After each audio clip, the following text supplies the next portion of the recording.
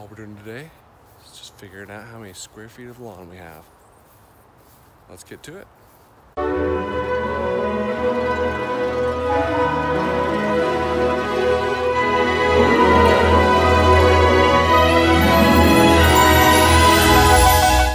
This is the Lawngest Yard.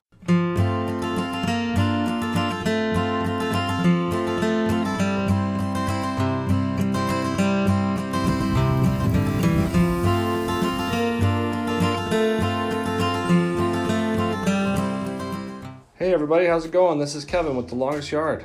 Welcome to my channel, welcome to my first video. Up here in the Pacific Northwest, my family and I just moved into a new house. So I wanted to get in the YouTube game, get into the lawn video game. So welcome to my channel. Today we're just doing square footage. How many square feet is your yard? Uh, as you can see, we're still moving in. The boxes are still in the garage. Got to clean those up. Um, my wife's still painting like crazy. That every wall is painted, but I'm out here on the lawn, so let's get to it. I got my tools here. Depending on the yard, if you are, this is a, a 0.4 of an acre, so almost a half an acre um, lot, but I don't know how many square feet of lawn we have. I've got, I've got, you can use just a simple tape measure. I've got my trusty wheel. I'm gonna start with the wheel today. Uh, I'll, I'll do a couple other things too with the measuring tape as well. And also what you wanna do is you wanna get online, you wanna print out a map. You wanna print out a map of your house and um, what you wanna do is just over, over screenshot. If you don't have a drone or something like that up high and you just wanna map it out, I got a pen. We're gonna draw it up. We're just gonna see, calculate, simple calcu calculation, um, see how many square feet we have. So let's go. Okay, I got my wheel all set, ready to go.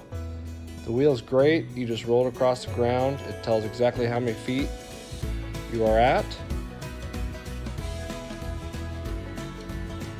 Go from length, write it down, width, write it down, and that's your square footage of that square.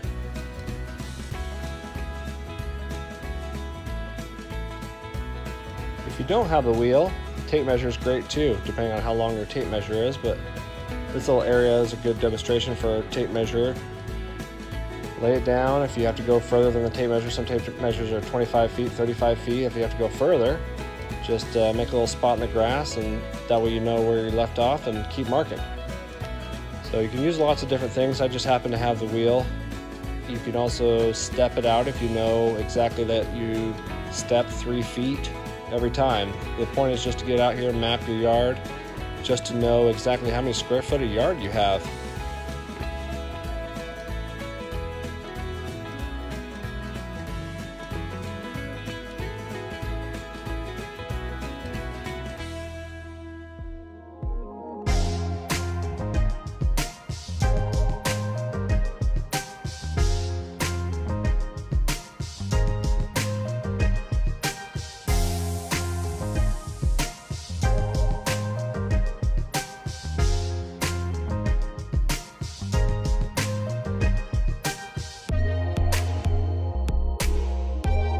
I think it's really important to know how many square feet of lawn you have because when you go to the store to buy fertilizer or weed and feed, you know exactly how much product you need. How many bags do you need? If you're getting a Scotts turf builder, you know that a bag can cover 15,000 square feet. So is that going to cover your yard once? Is it going to, are you going to have some left over to do your yard twice? Or if you're using an organic Milorganite, is one bag can cover 2,500 square feet. So do you need three bags? Do you need four bags? Do you need five bags? That way you buy the perfect amount of product each time. So as you make your way around your yard, length times width, write it down your map, add them up, and that's how many total square feet you have. So as you can see on my map, I broke mine out into different zones.